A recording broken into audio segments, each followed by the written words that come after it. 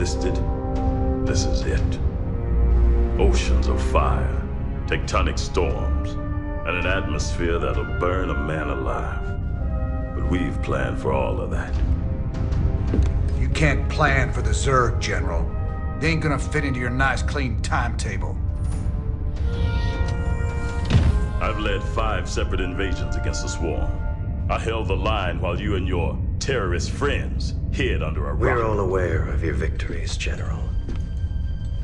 I've invited Commander Raynor here to assist us with any unforeseen contingencies. Well, it sounds like you got it all figured out, Junior.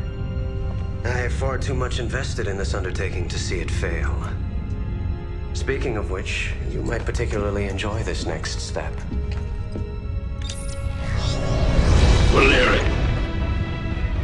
Just received a report you've taken half the fleet.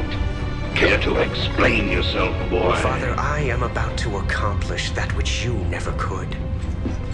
Today, I will defeat the Queen of Blades and secure peace throughout the Dominion. By this act, the people will finally know that I am a worthy successor to you. I love your gumption, son, but you're in way over your head. What makes you think you have the experience He ain't alone, Arcturus. Raynor. I don't know what gutter my son fished you out of, but even you've got to realize that treacherous bitch cannot be saved. And neither can you. We'll see about that. And when this is over, you and me got a score to settle. Everything I could have hoped for. You're playing a dangerous game here, kid. Prince Valerian, we have Zerg attack waves incoming. Already?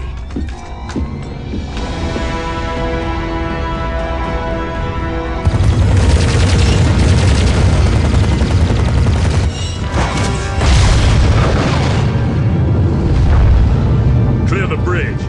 I got a battle to win.